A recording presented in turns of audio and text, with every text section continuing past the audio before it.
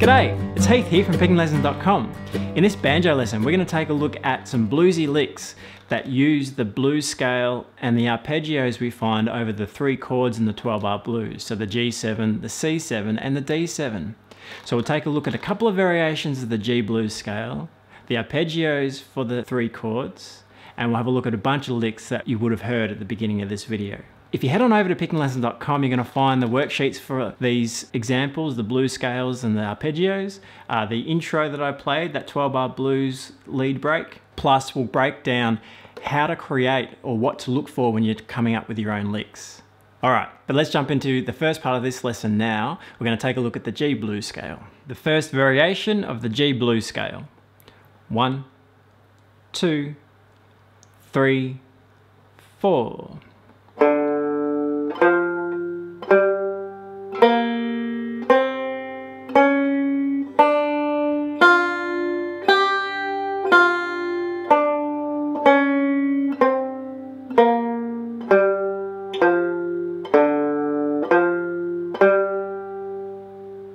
Okay, so as you can see there, that G blues scale, it's played in just the one position.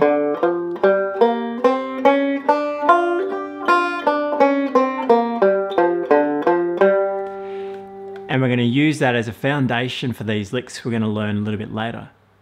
So before we jump into some of these licks, we're actually going to have a look at the arpeggio as well for the G7 chord. So the G7 shape you may be familiar with. And turning that into an arpeggio is really straightforward. We're going to start down the open D string, then work our way through the notes that belong to the chord. So the notes that we have are the G, the B, the D, and the F.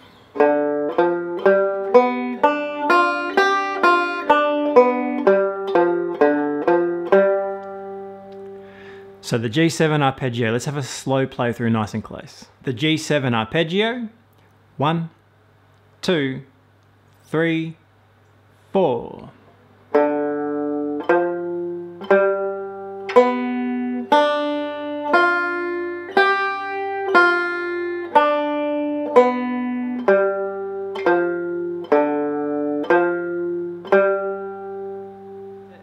Right, the G blues scale and the G7 arpeggio. We're going to take those two and mix them together. We're going to have a look at a couple of licks played over the G7 chord. And these are the first two licks that I played at the beginning of that 12 bar blues at the start of the video. So the first lick is pretty much following the blues scale. This is how it sounds. So we'll take a slow play through.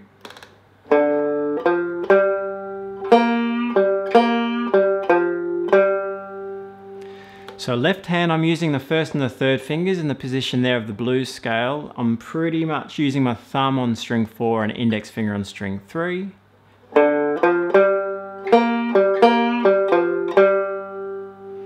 And there's a little bit of a bend on string three. So that's the minor third. So the minor third, I'm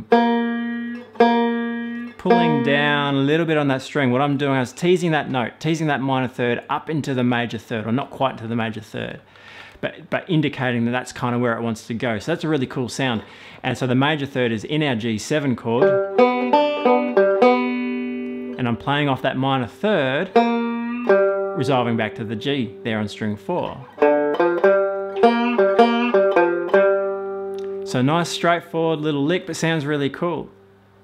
Okay, we're gonna have a look at the second lick here, and this lick's gonna use more of the G7 arpeggio, plus the blues scale in there as well. So we're starting on the root note of the G on string four, hammering on from minor third into major third, that's third and fourth frets, through the arpeggio, hammer on to the high G, back down the scale. Now, I'm gonna use this flat five,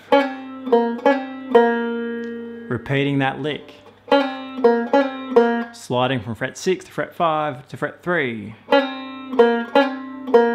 Resolving down to the G. So all together sounds like this.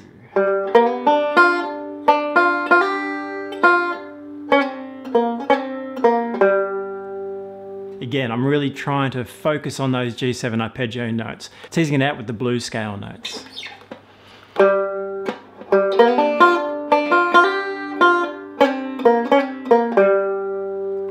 So those first two licks, I'll run them one into the next.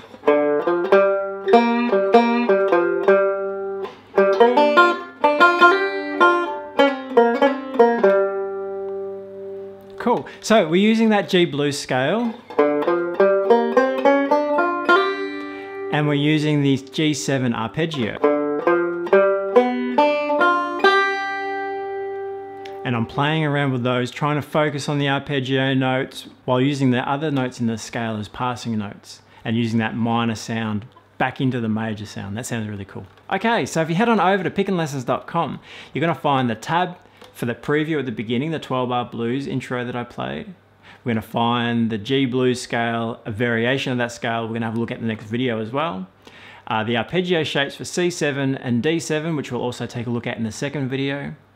And we'll go through and break down the licks that I played through the whole intro in the 12 bar blues over all the chords. And we'll have a chat about what to look for when you're trying to come up with your own licks and what's gonna sound good and why it sounds good. All right, so head on over to pickinlessons.com. I'll see you there.